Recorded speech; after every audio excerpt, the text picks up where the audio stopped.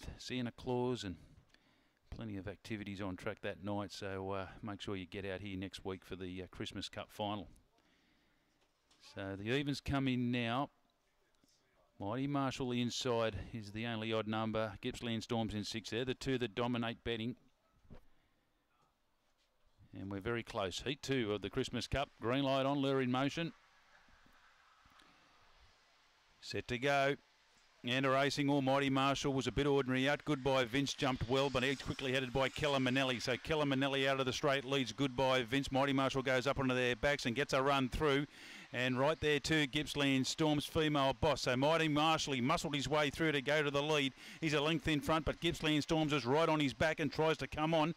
Goodbye Vince battling away with Keller Manelli and female boss. Mighty Marshall, the leader, coming around the turn. But Gippsland Storms is a length away, comes to the outside. Gippsland Storms, he's coming big time, baby. He put the nose in front and got it. Gippsland Storms beat Mighty Marshall. Tight the third. Give it to Goodbye Vince just in front of Keller Manelli. And the last to clock in, female boss.